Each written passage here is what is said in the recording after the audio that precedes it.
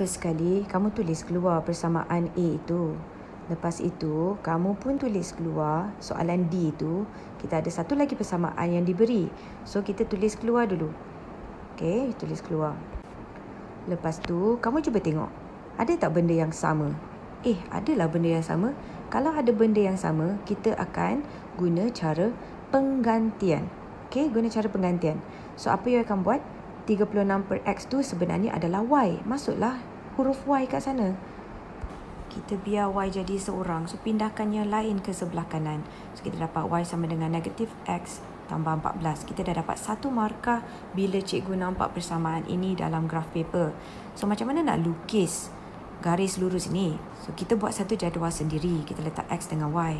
Yang nilai X tu, kamu letakkan nilai dia sendiri. Letak 3 cukup. Tapi refer dekat soalan A. Ambil yang depan, 2. Ambil yang tengah, 6. Ambil yang belakang 14. Tu je. Refer kat A.